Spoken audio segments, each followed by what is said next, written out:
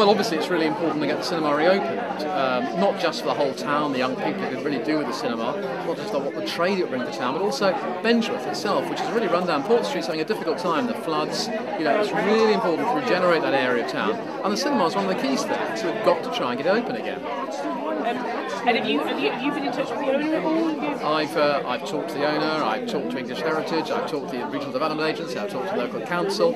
It's really tricky though because it belongs to the owner and ultimately it's his decision. What he does with it is his affair and it's private property now uh, and it's very difficult indeed for the rest of us to do anything with it unless he's prepared actually to do something himself.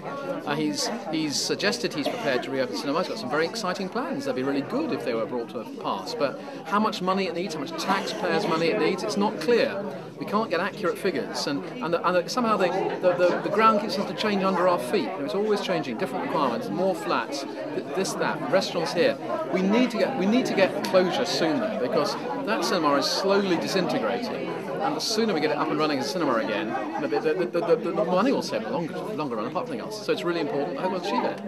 Um, and obviously, I mean, uh, the importance of it as a, something in the community, obviously, is not, not just the building. Yeah, exactly. I mean, I mean, it's really got it's got two importances really. I mean, first, uh, it would be symbolic of Bengeworth and Port Street. Uh, that's quite a problematic area of the town at present. You know, the, the floods since last year again, after 10 years on, well, huge problems to the business there. So it's very important for the whole economy of that area. But the young people of Evesham haven't got much to do, and it's a pretty difficult journey for the nearest town, the cinema. Uh, it would be really good to have the cinema open again in the town, not just for young people, for all of us actually, all ages. We all like the cinema, but it's young people in particular who feel aggrieved about it because they want somewhere to go in the evening. So it doesn't mean going to a pub or a nightclub or hanging around getting into trouble. It would be really great to have it open again for them as well, and, and I wish we could.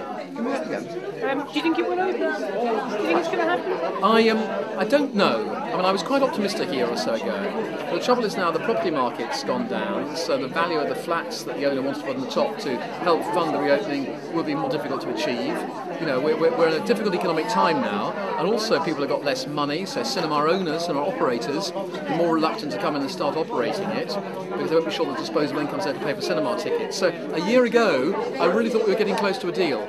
Now I'm more pessimistic again because it, the whole economic environment's changed. But that won't last. Um, the really important thing is to protect the cinema and, and, and, take the idea forward. So hopefully, when the things improve in a year or two, as I'm sure they will, we can get the thing open again. But I think it is, to be honest, a bit more difficult just at present than it was.